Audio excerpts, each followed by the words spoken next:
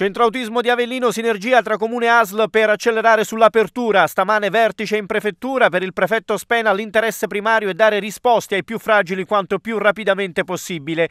In particolare l'ASL si è impegnata a fornire un supporto in termini di consulenza ed effettuerà un sopralluogo presso la struttura entro la fine del mese. Dal canto suo l'amministrazione comunale, oltre a presentare la richiesta per l'autorizzazione all'esercizio delle attività, si è impegnata a risolvere la problematica relativa alla proprietà dei suoi suoli. Per raggiungere questo eh, traguardo da un lato eh, il Comune ovviamente risolverà la questione della proprietà eh, del suolo e presenterà la richiesta di autorizzazione all'esercizio, dall'altro eh, attraverso una attività di eh, collaborazione consulenziale da parte dell'ASL, entro febbraio effettueremo un sopralluogo presso la struttura per verificare che ovviamente tutti i lavori eh, siano stati effettuati a regola d'arte e quindi andiamo avanti senza problemi, confidando anche in tempi rapidi eh, per l'ultimazione di questa fase e quindi per l'apertura del centro.